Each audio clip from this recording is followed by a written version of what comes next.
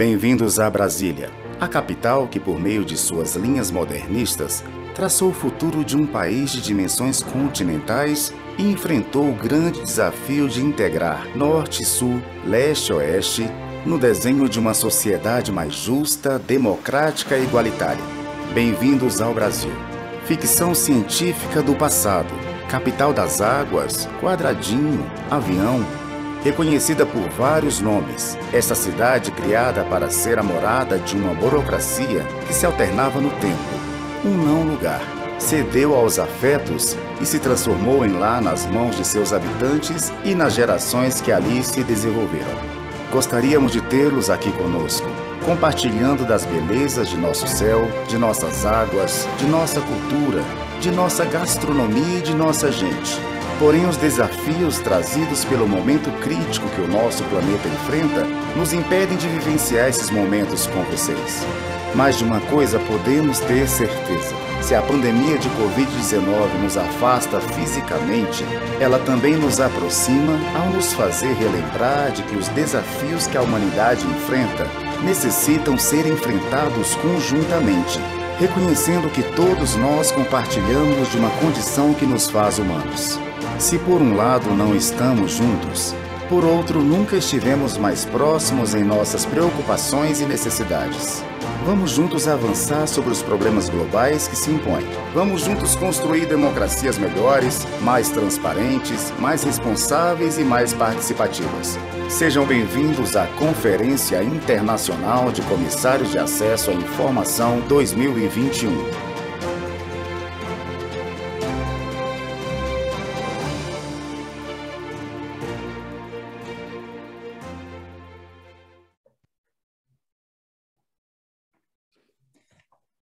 Good afternoon, and welcome to ICIC 2021 webinar on state secrecy. My name is Genevieve Lester. I am the De Serio Chair of Strategic Intelligence at the U.S. Army War College, and I'm the moderator of this panel this afternoon.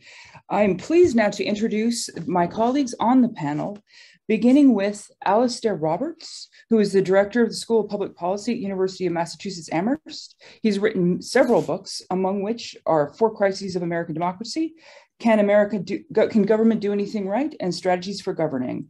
He received his law degree from the University of Toronto and his PhD in public policy from Harvard University. He is also a fellow of the National Academy of Public Administration. Our next panelist is David Pozen, who is the Vice Dean for Intellectual Life and the Charles Keller Beekman Professor of Law, uh, Yale Law School. Um, American Law Institute named Pozen the recipient of its early career scholars me- uh, medal, and he's written widely on issues of um, of government transparency, free speech. In 2017, Pozen became the inaugural visiting scholar at the Knight First Amendment Institute at Columbia University. Um, among other interesting facets of his career, he was also special advisor to Harold Koh, legal advisor at the US Department of State. Finally, our third panelist is Karina Furtado Rodrigues, who is professor at the postgraduate program in military science in sciences in the Brazilian Army Command and General Staff College and Director of Communications and Publications at the Brazilian uh, Society of Public Administration. She writes about access to information and state secrecy, civil military relationship, public policy, and governance in defense. She holds an MA and, and PhD in public administration from the Getulio Vargas Foundation and a BA in business administration from the Federal University of Juiz de Fora. Welcome all. Thank you all for participating today. We will begin with a presentation from our colleague, uh, Dr. Roberts. All right. Well, thank you very much. It is a great pleasure to have the opportunity to talk with everyone today. I'm glad to be visiting Brazil, even if I'm only doing it through Zoom, and it's a pleasure to join my distinguished panelists as well. Um, I'd like to say just a few words about the question of transparency or openness in the security sector of government. And by the security of sector of government, I basically mean that part of government where, where people have guns. Uh, the military forces, police services, intelligence services, and so on. Uh, and uh, I just want to say a few comments about thinking about the question of of of how we achieve or how much uh, transparency we should achieve in the security sector. the traditional problem in the security sector, so far as transparency is concerned, is this tendency to think that there is something special about the sector. That is to say that the, the stakes, the national interest is so intense in this sector that there ought to be special rules for dealing with transparency. In particular, that the barriers to access of in, accessing information in the sector ought to be very high. So governments do many different things. Sometimes they say that institutions in the security sector will be excluded entirely from access laws. Uh, or they say that uh, officials operating in this sector may withhold information without undertaking the usual balancing of considerations for and against uh, disclosure of information. Um, or governments will limit the right of third parties, whether it's courts or ombudsmen or commissioners, to review decisions by bureaucrats not to disclose. So in all of these ways, the security sector of government tends to be dealt with in a special way. Um, and I, the first argument I would like to make is that we want to resist, I think, this tendency to say that there is something special about the security sector. Uh, I would say transparency in the security sector is especially important because we are talking about people who have guns, uh, people who have uh, an enhanced capacity to take actions that could damage human rights. And precisely because human rights are in jeopardy, especially in this sector, accountability is especially important. And that's why we need to be meticulous about applying the usual balancing test, the weighing of arguments for and against transparency in this sector, and also in allowing um, third parties scrutiny of decisions to withhold information. So that's the, the first big point that I would like to make. And then I think I'd just like to make a, a second point, and, and that is that there are other problems relating to the security sector of government that are uh, growing over time um, and uh, that we have to think about as well. Uh, there are three tendencies operating in the security sector of most governments today. Uh, the first is a, a rapid uh, um, rate of technological advance in the sector. Um, security institutions tend to be early adopters of advanced technologies, whether it's technologies for surveillance and communications uh, and so on. So we have a phenomenon of technological improvement in this sector. Uh, we also have a growing practice of information sharing between governments, whether it's between governments within one country or between countries. Um, and because we have more information sharing, we have more intergovernmental agreements that impose constraints on what can be done with shared information. So increasingly, we see within the security sector a pooling of information among multiple governments. And we also see in some places state agencies relying more intensely on corporate partners, on businesses um, for their activities in terms of um, collecting and interpreting information. Uh, very often, uh, security uh, agencies end up using proprietary technologies to do their work uh, for the purposes of surveillance and control. So we have three factors, uh, technological change, uh, information sharing, and integration with the private sector. And these three factors, I think, make it increasingly hard for um, uh, civil society organizations, watchdog organizations, not only to access information, but to understand that what is going on inside the security sector. Um, it may be hard to access information because other entities may also try to impose barriers to disclosure. For example, a government that has shared information may insist that the information cannot be disclosed within a jurisdiction, uh, or a business may say that there are uh, restrictions on what can be done with the information it has provided to government or the technologies that it has provided to government. Uh, another predicament that follows on this is, is the question of um, making sense of what's going on inside the security sector, even if transparency is achieved. For example, we might imagine a scenario where information is released to a watchdog or civil society organization, but there's so much information that it's uh, impossible for that external organization to make sense of it all. Uh, or it might be that the information is in such a form that it would be incomprehensible to any external actor that doesn't have the right training and the right kind of equipment.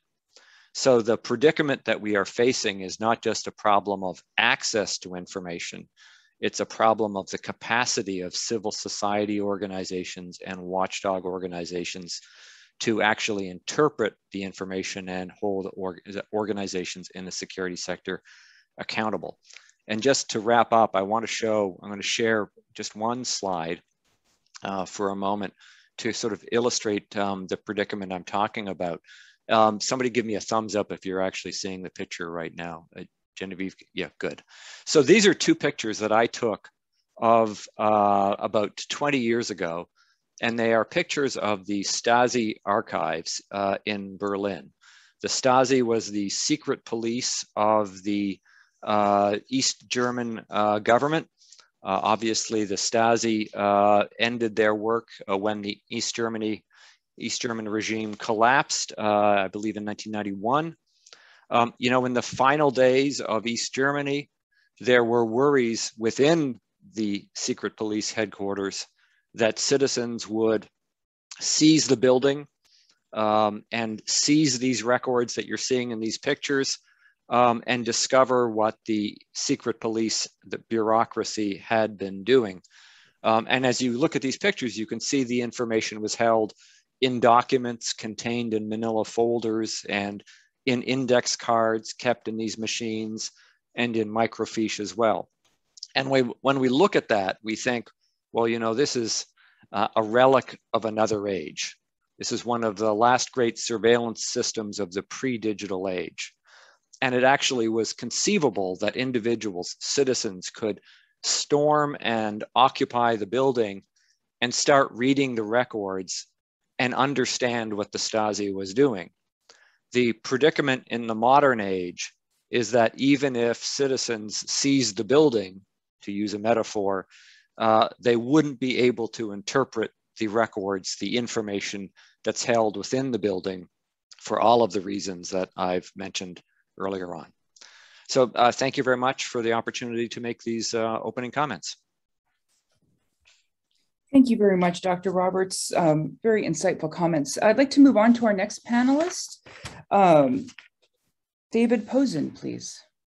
Thanks so much. Uh, I'm honored to be here. And um, like Professor Roberts, I'm going to focus my remarks on the security sector uh, and national security secrecy and uh, with apologies for the parochialism of it, discuss the US experience with managing national security secrecy and the problem of overclassification. And I'm just going to walk briefly through uh, the nature of the problem and attempts that have been made and largely failed uh, to manage overclassification of national security secrets in the US with some suggestions about what lessons we might take away from it.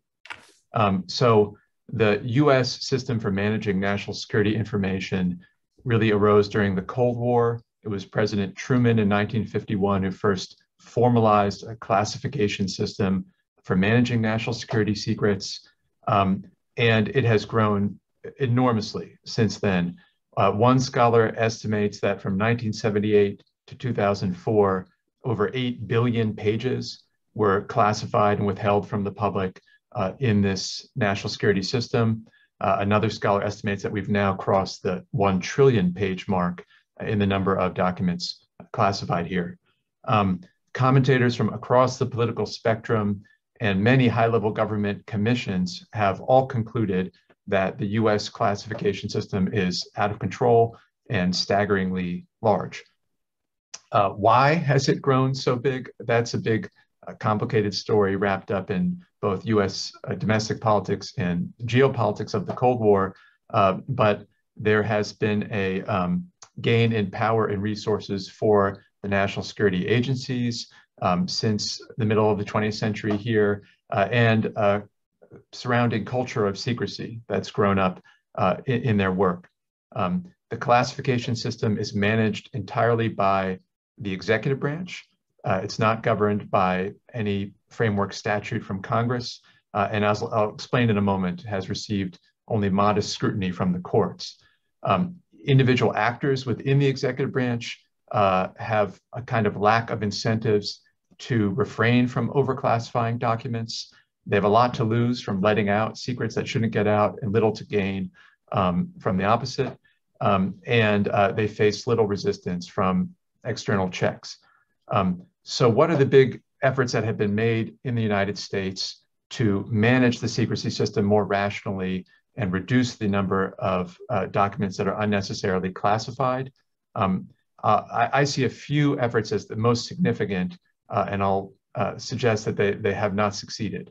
So in terms of the courts uh, engaging uh, and checking overclassification, probably the most significant thing that happened was in 1974, the US Congress amended our Freedom of Information Act to clarify that exemption one for national security secrets um, should be vigorously policed uh, by the courts. In particular, Congress instructed that um, courts should review de novo, that is, giving no deference to the executive branch uh, agencies' claims of exemption one. So Congress made it crystal clear that if the executive branch says we're withholding some documents because they raised national security secrets, Congress instructed the courts to get in there, uh, look at the documents, and make a determination for themselves about whether they are in fact properly classified. Um, this is not what's happened. Um, in the vast majority of exemption one cases, uh, the courts grant the executive branch summary judgment without even inspecting the records uh, making it virtually impossible for litigants to counter the claims of the agencies that these documents are properly classified and should be withheld. Um, the, the win rate for plaintiffs challenging Exemption 1 claims uh, is well under 3%. Most studies have concluded. Um, the New York Times top lawyer wrote in a recent article that victories in Exemption 1 cases in FOIA litigation are legal unicorns um, almost never happen. Uh, so it turns out that notwithstanding Congress's uh, telling the courts uh, to offer much more robust scrutiny of Exemption 1 claims, uh, there is little judicial appetite for doing so. Um, I see the move by Congress in 1974 to try to get the courts to be the enforcers uh, of uh, limits on classification as a, in hindsight, a kind of fatal error, because at that time, in the wake of the Vietnam War and scandals surrounding the Nixon presidency, Congress was more emboldened than ever before or since um, to check the national security state and passed a number of framework statutes overriding presidential vetoes. Um, Congress actually considered in the early 1970s legislating a national security classification system whereby Congress would create the rules for what can be classified pursuant to what procedures and safeguards, and Congress would oversee that system. Uh, that proposal failed, and ultimately, what was passed in its stead was this reform to the Freedom of Information Act, telling courts to do de novo, review of Exemption 1 claims. So instead of Congress uh, putting itself in the driver's seat in overseeing the classification, classification system, uh, it turned to the courts, who, um, for various reasons we can get into if people would like, um, it turns out do not actually want to push back on executive branch national security secrecy claims. Um, so the uh, within Congress, there were other efforts taken to um, uh, empower oversight over national security secrecy around the same time that also have, have had a dismal track record. For example, uh, in 1976, the Intelligence Committee of the US Senate which oversees the, uh, the intelligence community of the executive branch, um, passed a rule for its own committee that uh, is, remains pretty obscure in US legal and political circles. But the rule says that the Senate Intelligence Committee can vote to disclose to the public documents that it believes the executive branch has improperly classified.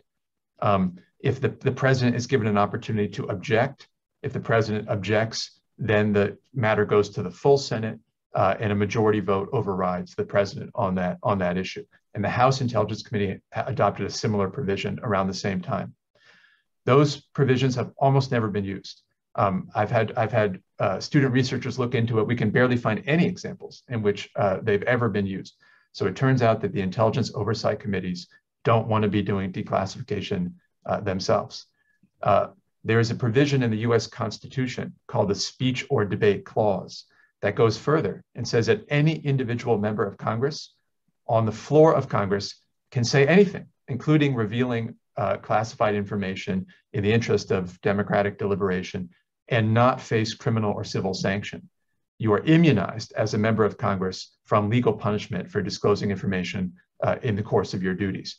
Um, uh, after a very limited use of that provision around national security issues um, having to do with the Vietnam War, that clause has likewise almost never been used by members of Congress uh, in, in the decades since. Um, so neither branch, uh, uh, neither the courts nor Congress, it turns out, uh, is very motivated to, um, to push back on excessive national security secrecy.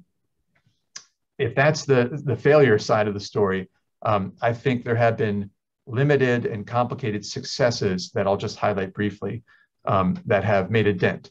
So within the executive branch, I think one promising reform that has happened is the uh, establishment of what's called the Interagency Security Classification Appeals Panel. I know it's a mouthful. The acronym is ISCAP. Um, this is a body uh, uh, composed of executive branch officials. So not judges, not members of Congress. It's executive branch officials with national security expertise. Members of the public can go to this panel and claim that documents are being improperly classified, ought to be declassified. And uh, much to the surprise of many observers, the track record has been very good for people making those claims to ISCAP. In fact, ISCAP has voted more often than not to declassified records uh, that have been brought to its attention. Um, so within the executive branch, it's only reached a small number of cases. It's a very limited reform at this point. Uh, but it seems that executive branch officials, when forced to directly confront claims of overclassification, uh, are actually more willing to recognize uh, errors and excesses uh, than perhaps less national security informed officials from the other branches. Um, and second, the other um, way in which overclassification has been managed and to some extent mitigated in this country has been leaking. Uh, that is, uh, with or without uh, approval from higher level officials, executive branch employees going to the media and sharing details of activities that are happening, whether because they want to promote them and celebrate them or because they want to criticize them uh, and flag uh, potential legal or other problems.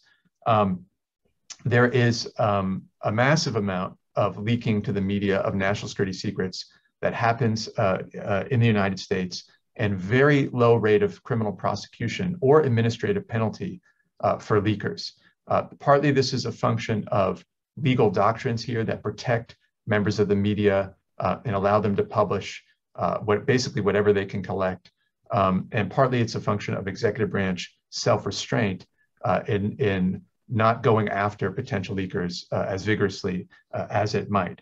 Um, and so we've, we've worked our way to a point where um, instead of one equilibrium where we have a narrow formal classification system and people learn through the uh, routine channels of disclosure and declassification, um, we have we've really gone to another equilibrium where we have a massively bloated overclassification problem uh, and then informal disclosure that um, uh, that cuts away at its edges. Um, I'm not sure anyone would think that massive over overclassification plus massive leaking is a first best solution uh, to problems of national security secrecy, uh, but it's the second best um, uh, equilibrium we, we, we've groped our way towards.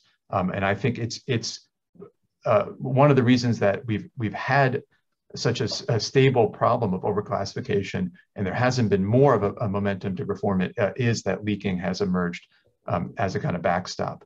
Um, so uh, I guess I'll close by saying I think ideally one would have more robust oversight of national security secrecy um, by Congress and the courts um, and by auditors or inspectors general within the executive branch. Uh, in the absence of that, uh, the US case perhaps suggests that it, you can at least have robust protections for media freedom um, to uh, compensate for some of the deficits uh, in the other branches where they exist. Thanks. Thank you, Professor Pozen. We'll reach out to our final panelist, Professor Karina Furtado Rodrigues. Thank you, Genevieve. Good afternoon. Good, good afternoon. It's an honor to be a part of this webinar. My take on secrecy will be more focused on the security sector of Latin America and, Bra and Brazil. But first, I have a disclaimer to make. Uh, the analysis and the opinions I bring to this debate are my own and do not necessarily represent the position of the Brazilian army or government. Now let's get started. Democracies, they need secrecy, but not just any kind. We need good secrecy, especially in defense and intelligence. We need a kind of secrecy that comes from transparent and accountable classification processes, with third parties able to assess trustworthiness and democratic legitimacy. The main challenge for Latin American countries is that secrecy legitimacy is not usually based on democratic values, but on technocracy. Brazilian literature on bureaucracy uses the term insulamento burocrático or bureaucratic isolation to describe the need for governments to have specialized agencies that are somehow protected from politics. Implementing this isolation with a strong and specialized bureaucracy was one of the first steps towards policy stability in Brazil in the mid 30s, when patronage used to be the only norm. Because of that, we can infer that isolation is not a bad, bad thing in itself. Nonetheless, when we talk about institutions that hold a monopoly on violence or institutions that can have access to your personal information, checks and balances are even more important. In this regard, it's impossible to discuss the legitimacy of defense secrecy without mentioning civil military relations.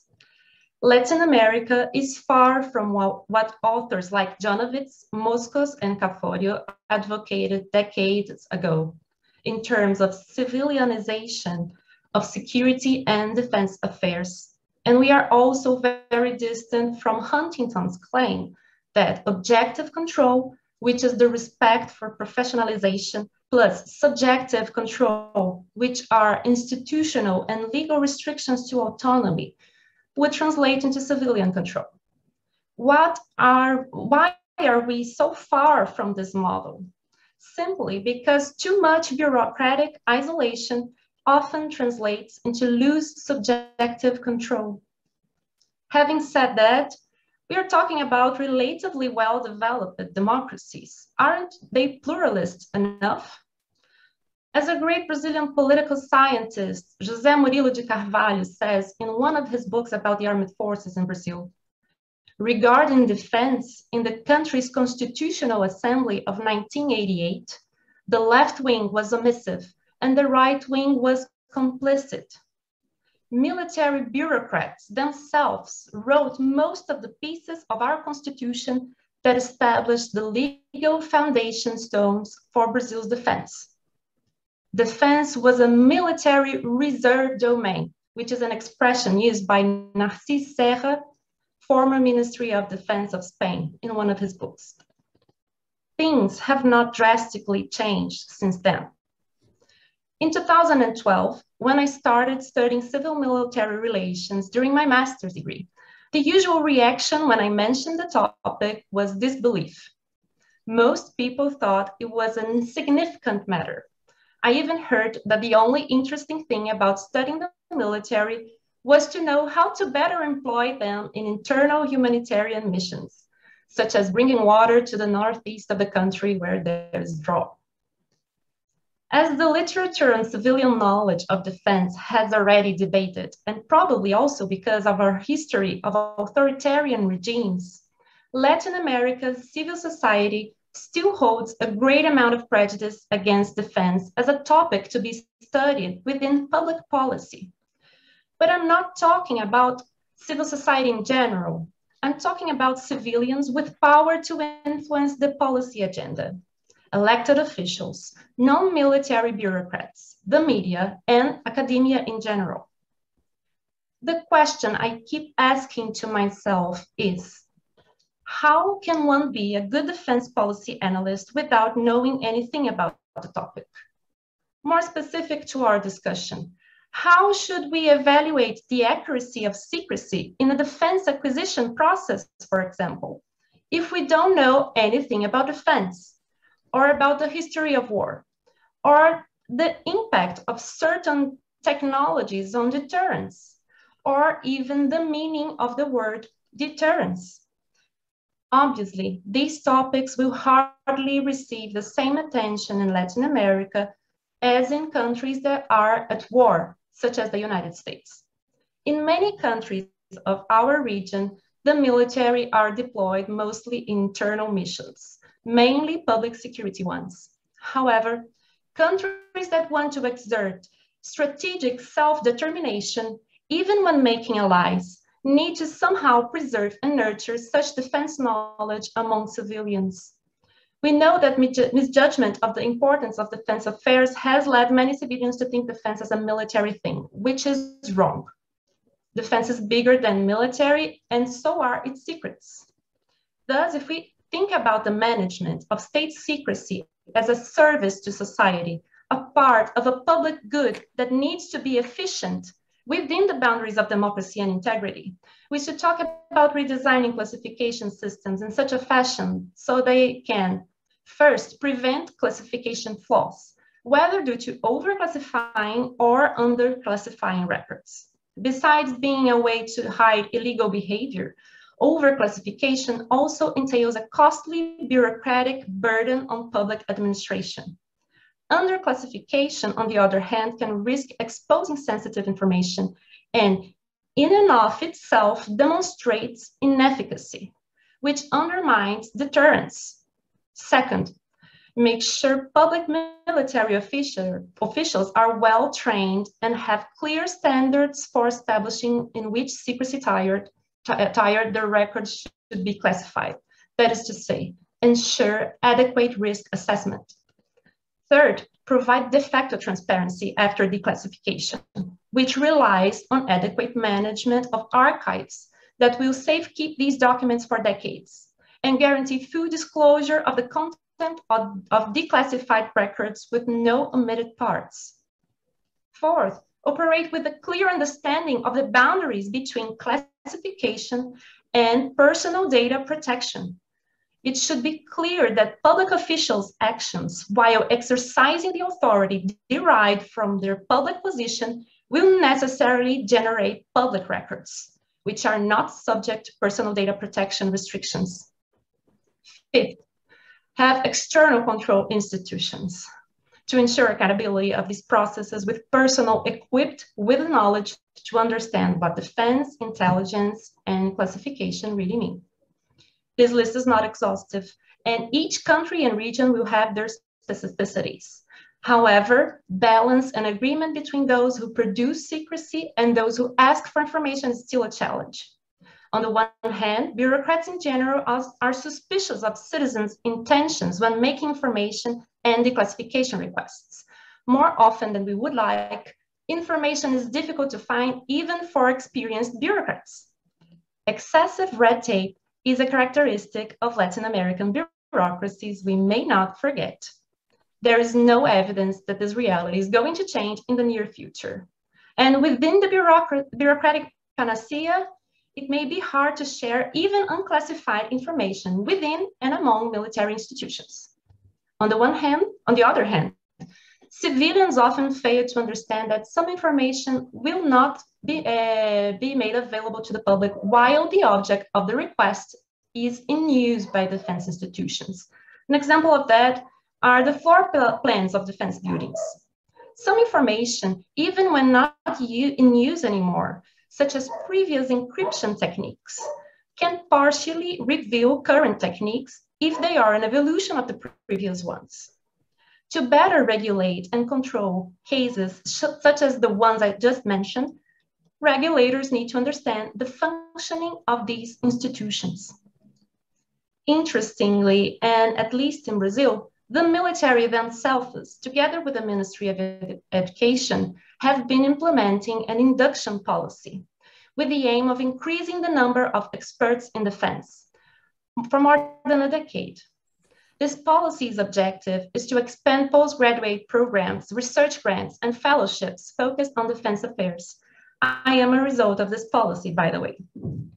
We now have a considerably wide academic community studying the topic who hopefully will be able to develop the still absent pluralism in the way of thinking defense and consequently promoting changes in transparency and classification systems. The question that remains is, will there be seats at the table for these experts? Without civilian ministries of defense and civilian careers in such ministries and single forces, and without independent defense think tanks, isolation will continue to triumph and new approaches to classification systems will be merely formal. Thank you for your attention. Thank you so much. And thank you all for your great contributions to the conversation. We have a series of questions that have popped up from our organizers and also from some, um, some audience members. And I'm going to start with a very broad conceptual question that I will throw out to the group. And then I hope we can have a relatively informal conversation around this. And that is, does the information classification system impose obstacles to democracy promotion? As a second part of this question, to what extent does state secrecy impact accountability? Very broad. I hope one of you can just jump in on this one.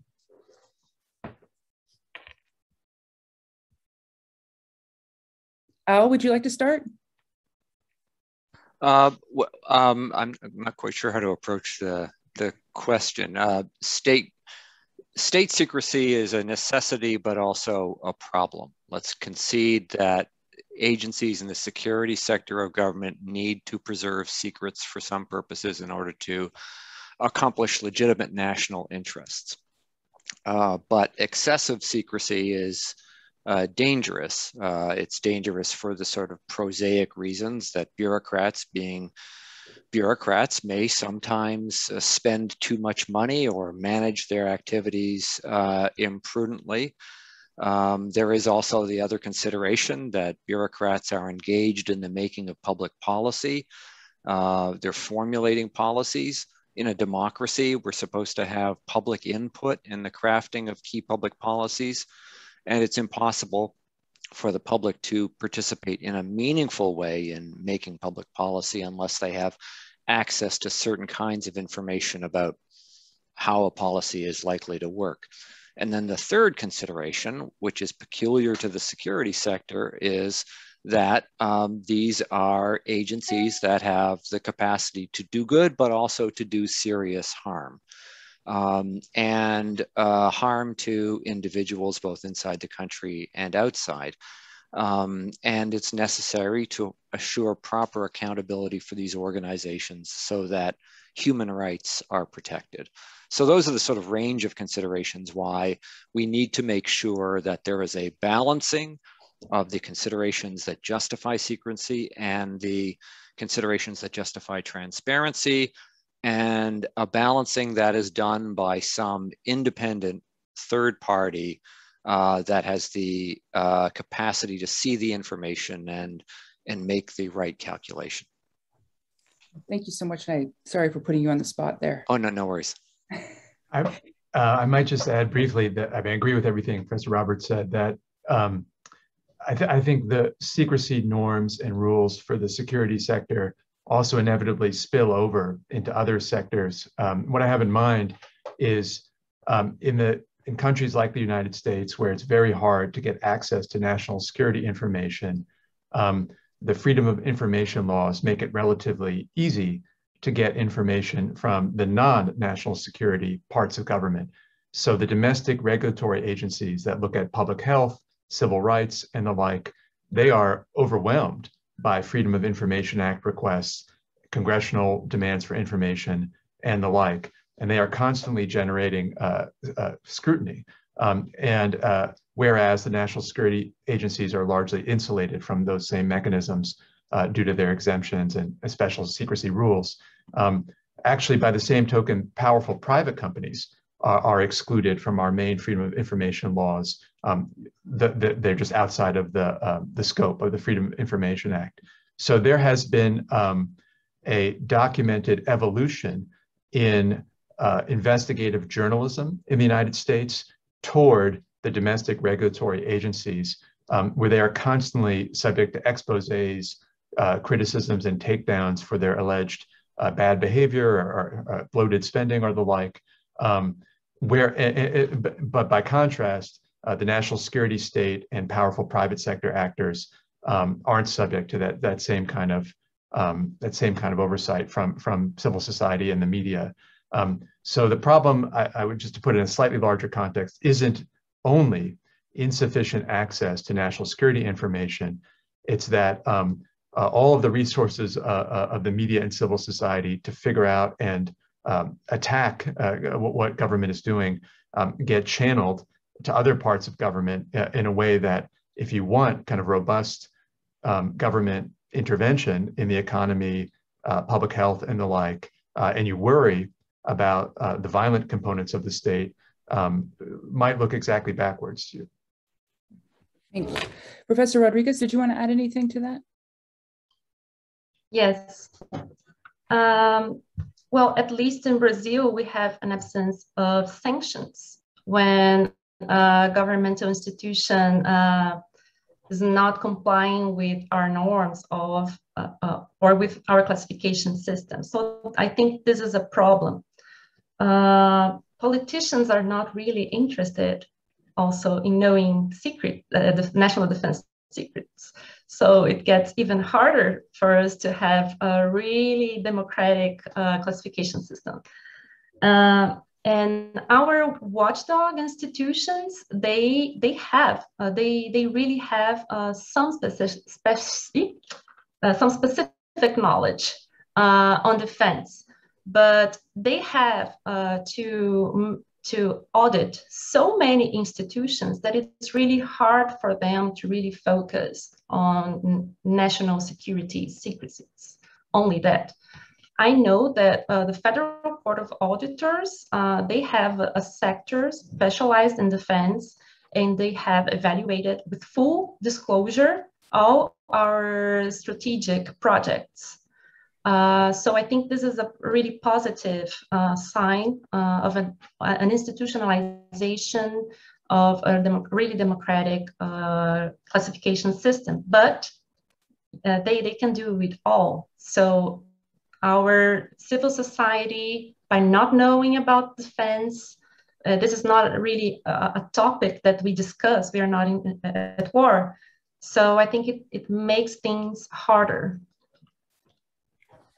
Thank you very much. Very interesting points. I'm going to provide a question from the audience for our panel.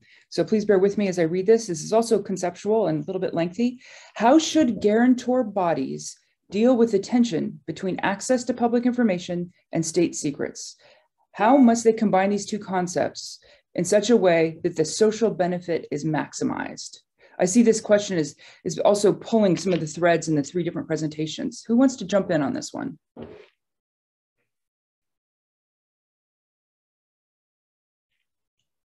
Well, all right, maybe I'll bite and just uh, say that, um, uh, again, drawing on the US example, it, it seems to me that there's been um, a rough consensus on the criteria for withholding information for, for quite a while. Uh, and, and, I, and from what I know of other countries, there's been some convergence around these criteria too, um, uh, which include, you know, that there has to be a demonstrated harm or threat to national security to justify withholding, um, and at least the potential for some balancing of that national security risk against uh, legal and democratic considerations. Um, uh, I'm not sure that we're going to make great progress in refining the standards that govern when information is to be released. Um, I think it's it's actually um, more in the the details of how they're operationalized and overseen where, where the problems arise. So um, in principle, everyone seems to agree that uh, sufficient risk to national security can justify withholding. But what exactly is national security? And it turns out the executive branch of the United States has defined that concept increasingly elastically over time to include not just you know physical threats uh, to the homeland, uh, but also all, all kinds of uh, potential um, compromising of government functions. So there's um, a question about what exactly constitutes national security, um, and also what what exactly is the showing of risk that needs to be made. Um, what kind of likelihood of um, problems from the disclosure has to be shown and, and what kind of magnitude um, of harm. Uh, that, that has kind of resisted specification and um, courts have not demanded any kind of uh, robust showing of likelihood of harm in the US for disclosure. So I, I wouldn't uh, try to change the standard so much as ask for a better case to be made um, in any given withholding dispute um, over the actual likelihood of harm. Um, and then finally, I would just say um, in those areas where uh, withholding from the public is appropriate, because I agree with the other commentators that sometimes it, it must be, it must happen.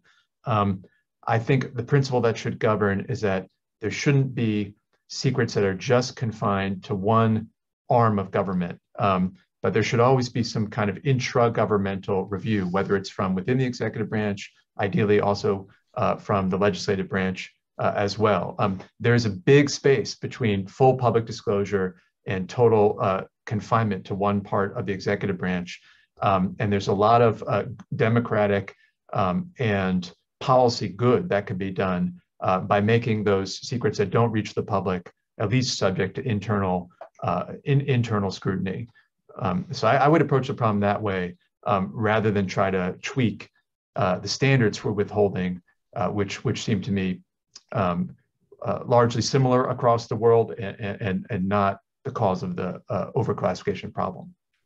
Oh, that's fascinating. I think it's also a really great point you raised that the, the what constitutes a threat is expanding. So we see the Pentagon intelligence community engaging with things like climate change and these types of issues. So where do we draw the limits of what actually constitutes a national security threat? Because it's expanding. I think that's an excellent point. Great approach to this.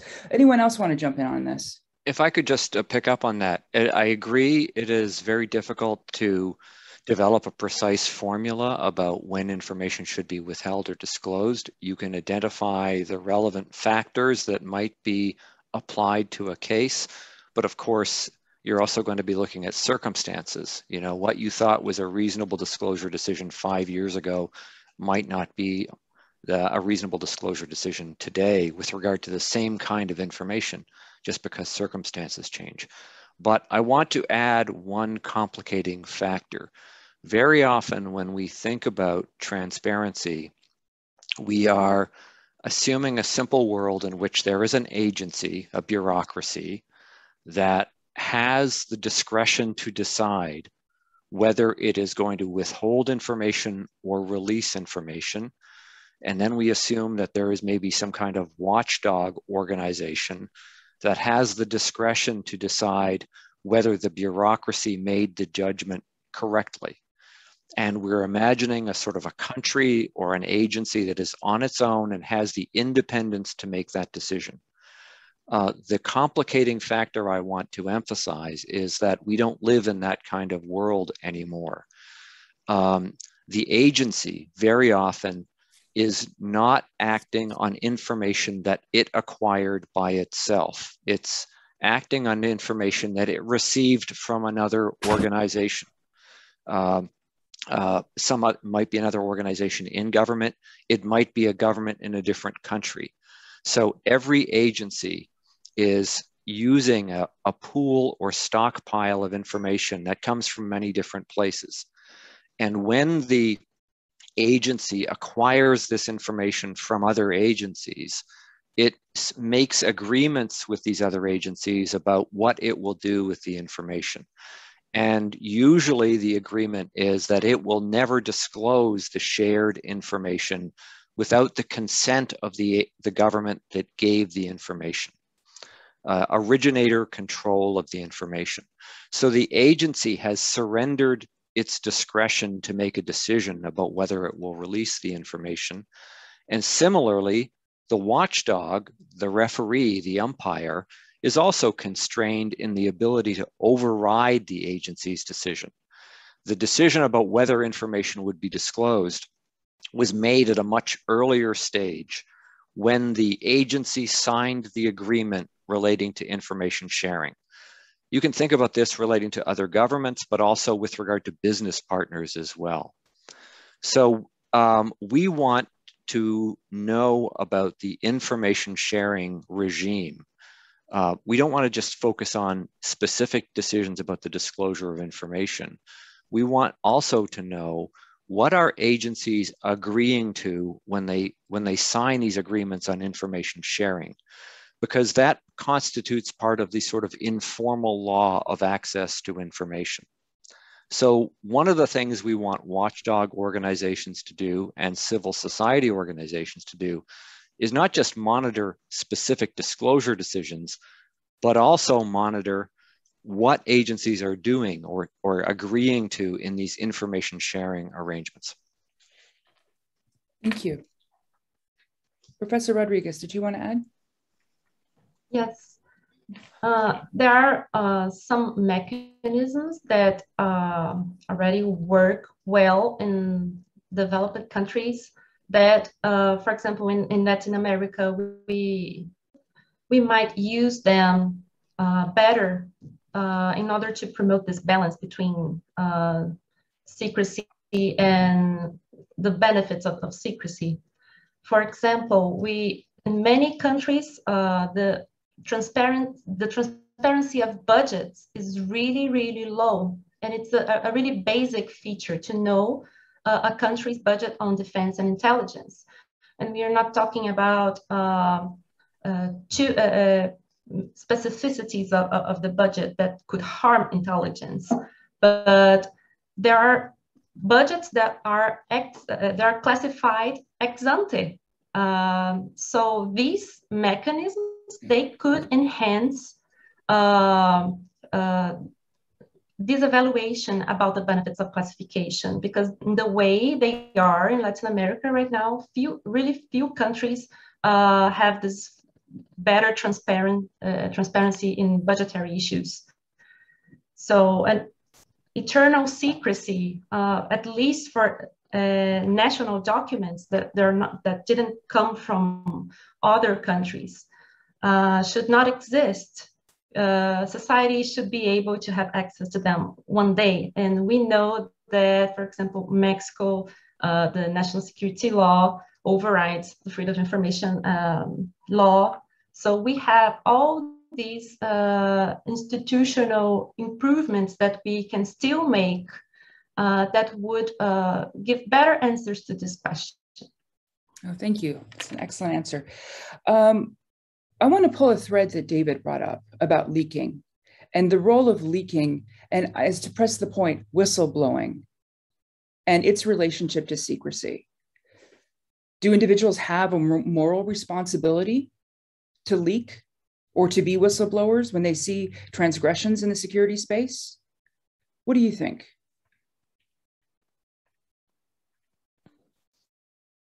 I'll go. I'll go. Uh, yes, in some instances, um, and there should be laws that uh, allow for uh, uh protected uh, disclosures uh, in, in, in specified circumstances. Um, the, the the question of, and this is not. I want to emphasize my main area, but you want to have a regime, um, a legal system that allows individuals under specified circumstances to make disclosures if they see, for example, human rights abuses or some other sort of uh, misbehavior. Uh, and of course, that law uh, would also, um, might also say how these disclosures ought to be made as well. Thank you. I, I might just, uh, I, I, agree with everything Professor Roberts said um, and note that um, I might have added to my catalog of, of failures in the US uh, ongoing saga of attempts to rein in overclassification uh, whistleblower protection statutes. So there has been a pro proliferation of whistleblower protection laws in this country since the 1970s, but uh, much less so in the national security space.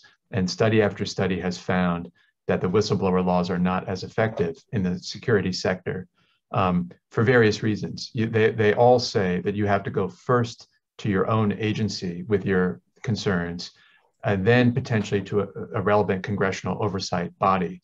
Um, a lot of national security employees feel that that's a sure recipe to um, get in trouble. You know, if they if they take their concerns uh, it, to those internal um, uh, bodies, um, you're never allowed to go to the media uh, with your um, concerns if you're national security uh. So um, I think there's a lot we could do to make our make whistleblower protection laws uh, more favorable to national security employees. I'll just note that in those uh, circumstances where an employee is so upset about what's happening, feels this ethical or moral responsibility, as you say, um, and goes to the public, goes to the media with their concerns, um, knowing that they're not going to get a good reception internally or, um, uh, or, or, what have you. I think there's there, there could also be back end reforms to provide more protection for those people. Um, so it no U.S. court has ever recognized any kind of public interest defense to unauthorized disclosure of national security information. Um, I think there are ways you could you could allow people who assume the risk of making an unauthorized disclosure that they feel is necessary um, to try to defend what they did or at least mitigate the, the consequences uh, by making an argument that it was sufficiently in the in the public interest uh, to do so. Um, so to have judges recognize that kind of it could be done as a full defense or just as a uh, mitigating factor in sentencing, uh, I think would be a healthy corrective on the back end. Thank you. Just the final word goes to Professor Rodrigues. I apologize for putting you at the end for every question. No problems.